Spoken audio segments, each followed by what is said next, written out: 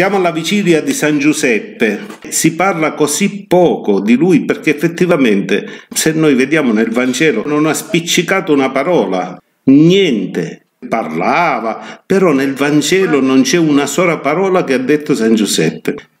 Quello che ha scelto Dio per padre putativo di Gesù aveva già uno spirito elevato, si è dovuto scontrare anche lui contro la mentalità comune, non è giusto, oppure si fa così perché così dice la legge. Tant'è vero che quando Maria rimase incinta, chiaramente Giuseppe rimase sbigottito, non si sapeva dare una spiegazione. La legge diceva che le donne adultere andavano lapidate, condannate a morte. A fronte di questa realtà della legge che richiedeva che Maria fosse denunciata e lapidata. Ecco, vedete, non si sentono le parole di Giuseppe, ma le azioni. La giustizia profonda che era nel cuore di Giuseppe ha scavalcato la legge, ha messo al primo posto l'amore.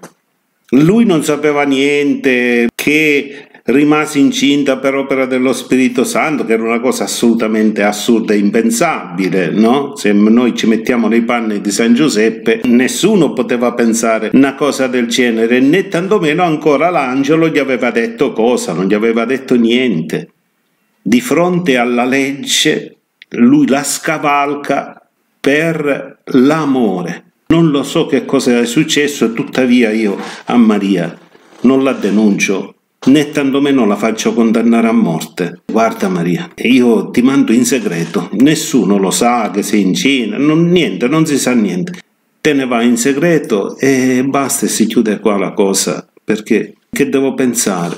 Quindi da un lato c'è Giuseppe misericordioso che va oltre la legge per amore e dall'altro c'è Maria che non spiccica neanche lei una parola in quel caso, non si è neanche difesa Dio mi ha fatto sta promessa, mi sta capitando questo. Maria, come nel suo cuore, come lo dimostrerà più avanti, conserva queste cose nel suo cuore e anche lei scavalca, scavalca la sua mente per mostrare il suo cuore, che è un cuore di abbandono a Dio, un cuore di fede e si abbandona con la cosa più assurda. Non è che ha detto mamma mia, sono rovinato, e ora che fa? Che succede? Ma com'è possibile? No, Maria il sì che ha detto all'angelo sia fatta di me secondo la sua volontà. Questo sì lo, lo dirà anche adesso Signore, non capisco, Giuseppe ha ragione, e io che gli devo dire? Che gli devo dire io? Ma anche se lo dicessi mi crederebbe. E Maria si abbandona a Dio anche in questo fatto assurdo, irrazionale, come questo padrone della vigna. Il regno dei cieli è simile a un padrone di casa che uscì all'alba per prendere a giornata lavoratori per la sua vigna. Accordatasi con loro per un denaro al giorno, li mandò nella sua vigna. Uscito poi verso le nove del mattino, ne vide un altro. Uscito ancora verso le cinque, ne vide altri che se ne stavano là e disse loro, perché ve ne state qui tutto il giorno oziosi? Gli risposero, perché nessuno ci ha presi a giornata. Ed egli disse loro, andate anche voi nella mia vigna. Quando fu sera il padrone della vigna disse al suo fattore, chiama gli operai e dà loro la paga, incominciando dagli ultimi fino ai primi. Venuti quelli delle cinque del pomeriggio ricevettero ciascuno un denaro. Quando arrivarono i primi pensavano che avrebbero ricevuto di più, ma anch'essi ricevettero un denaro per ciascuno. Nel ritirarlo però mormoravano contro il padrone dicendo questi ultimi hanno lavorato un'ora soltanto e li hai trattati come noi, che abbiamo sopportato il peso della giornata e il caldo. Ma il padrone, rispondendo a uno di loro, disse Amico, io non ti faccio torto. Non hai forse convenuto con me per un denaro? Prendi il tuo e vattene. Ma io voglio dare anche a quest'ultimo quanto a te. Non posso fare delle mie cose quello che voglio? Oppure tu sei invidioso perché io sono buono? Così gli ultimi saranno i primi e i primi gli ultimi. Anche qui c'è un assurdo. Certo, il discorso di Maria è molto più grande, molto più grave, però il principio è lo stesso, è l'amore. Quello che ha lavorato un'ora attraverso questi esempi, il messaggio è chiaro, è l'amore che vince.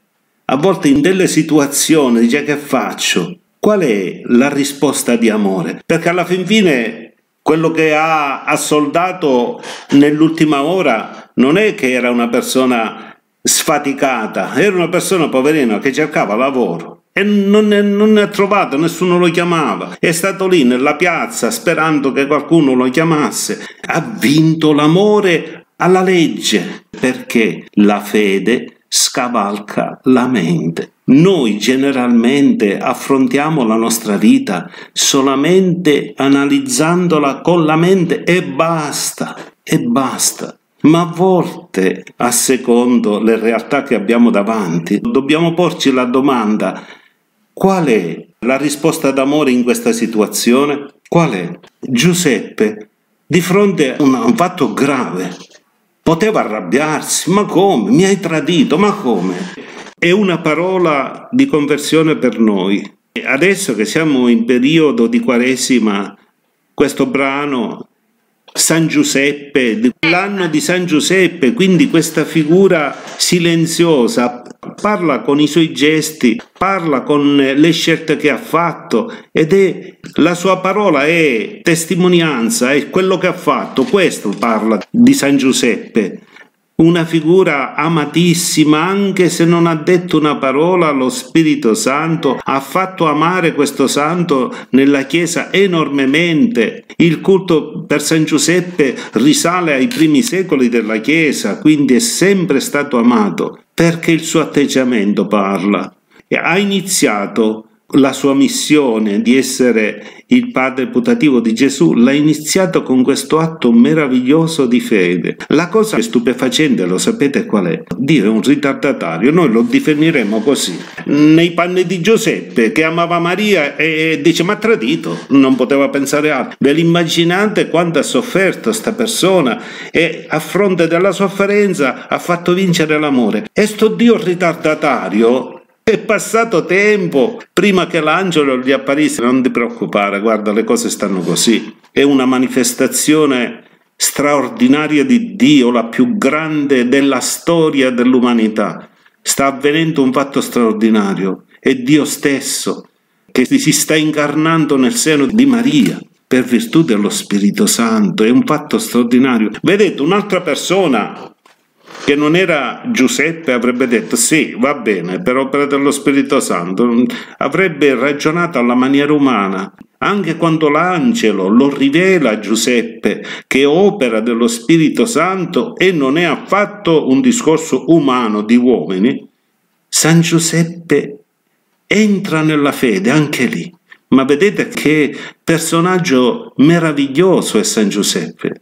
Entra, crede, ha fede, il suo cuore pieno d'amore, che ha preparato forse Dio, aveva un cuore pieno d'amore e lo ha dimostrato anche in fatti estremi, come quella di Maria incinta. La vita di Giuseppe, che ha detto sì a Dio, come ha detto sì la Madonna, non è stata tanto facile perché tante altre volte nelle vicende che ha vissuto, che non sono state tanto facili, si è fidato, si è fidato, si è fidato. Quando hanno perseguitato i bambini perché volevano fare fuori Gesù, allora costretto ad emigrare, ve l'immaginate, aveva lui lì la sua attività, aveva il suo laboratorio di falegname, era un operaio, un artigiano, lasciare tutto per andare in Egitto, un po' all'avventura in Egitto, scappare, fidandosi di Dio, fidandosi. E questo Dio ritardatario al momento opportuno si manifesta. Dico ritardatario fra virgolette perché per noi è ritardatario. Chiediamo una grazia e pensiamo che subito succede quella cosa che chiediamo a Dio. E poi invece non succede niente e diciamo vabbè, Dio non mi ha ascoltato, Dio, Dio ascolta sempre tranne se uno chiede perché lui conosce tutto, tranne che quello che tu stai chiedendo non corrisponda al bene tuo e del suo disegno di amore per il mondo, per gli altri, per chi ti sta vicino. A volte guardate che nella vita il dire un sì o un no cambia la vita non solo tua, ma anche delle persone. E voi non potete immaginare che significa un sì o un no. Cambia tutta la storia, ma non solo nostra. Nelle sue vicende come nelle nostre vicende, Dio si manifesta al momento giusto. A volte è necessario che noi attendiamo per i fini che Lui sa, ma anche per rafforzare la nostra fede, il nostro sì, continuare a credere, Signore, io mi fido di te, mi fido, mi fido, mi fido. Ok, io ti ho pregato, non sta succedendo niente, ma mi fido, mi fido, Signore.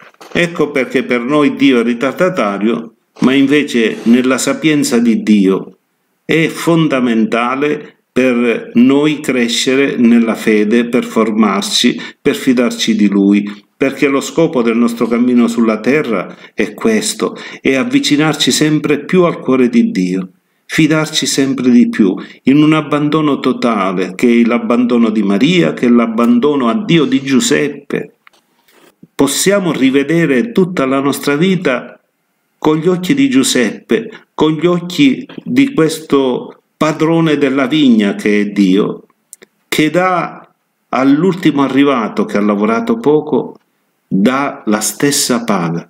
Qualcuno la volta scorsa ha detto il buon ladrone è stato furbo, dopo che ha fatto tutti i suoi comodi tutta la vita, poi alla fine ha detto Signore perdonami ed è andato in paradiso all'istante. Dice oggi stesso sarai con me in paradiso. Non è stato furbo, non è stato furbo, è stato quell'operaio dell'ultima ora.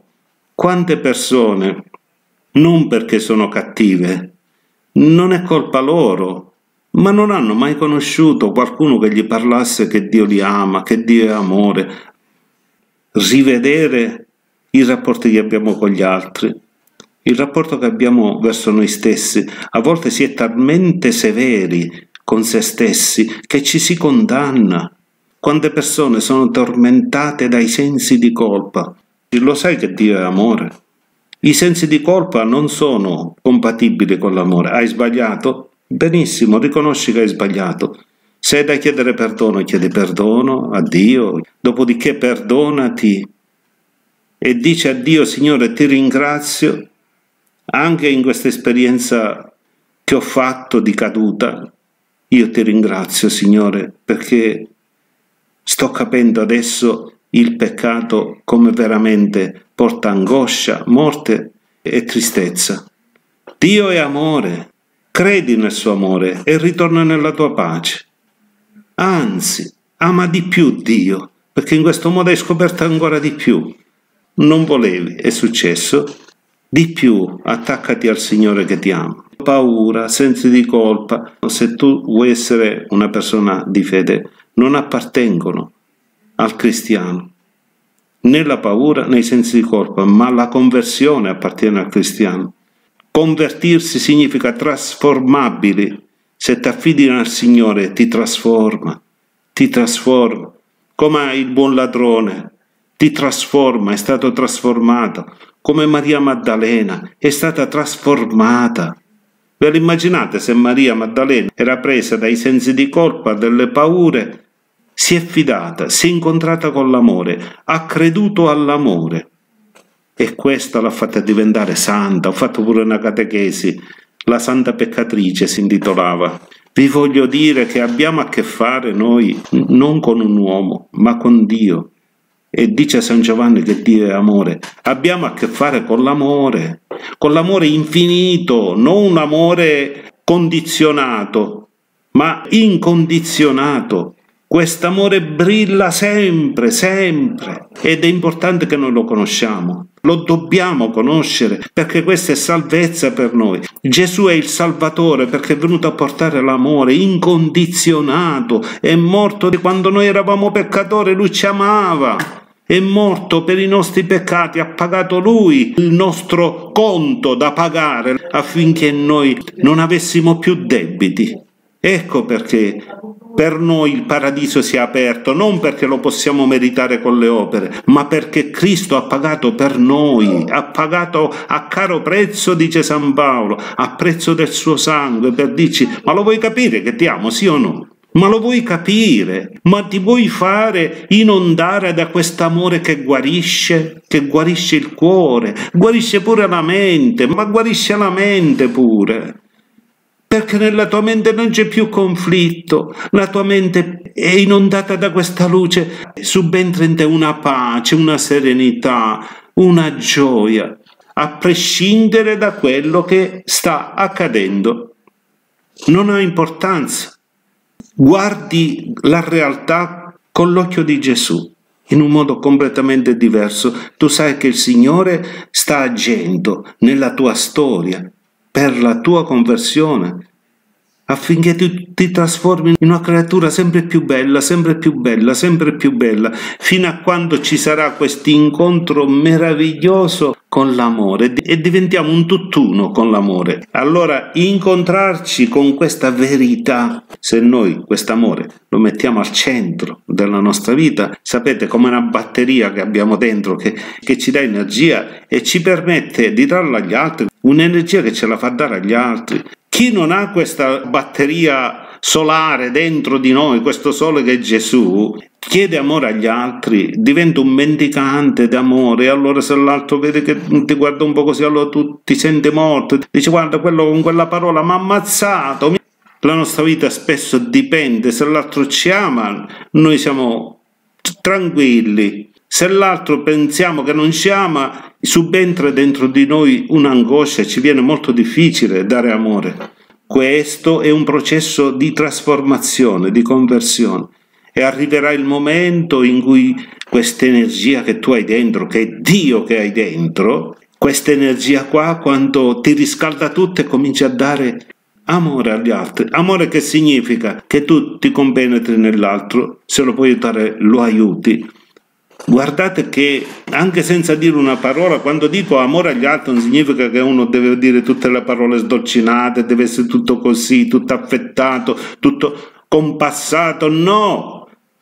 Un cuore positivo, pieno di Gesù, non, non c'è bisogno manco che parli, gli altri ti vedono e gli dai il riposo solo con la tua presenza, perché emani, emani, ecco perché vi dico, l'energia la emani fuori di te, ma non perché stai dicendo chissà quale belle parole, no, no, no, proprio così, senza parlare già emani energia e l'altro lo percepisce. Non sono le parole che convertono gli altri, ma è Gesù in te che si manifesta agli altri.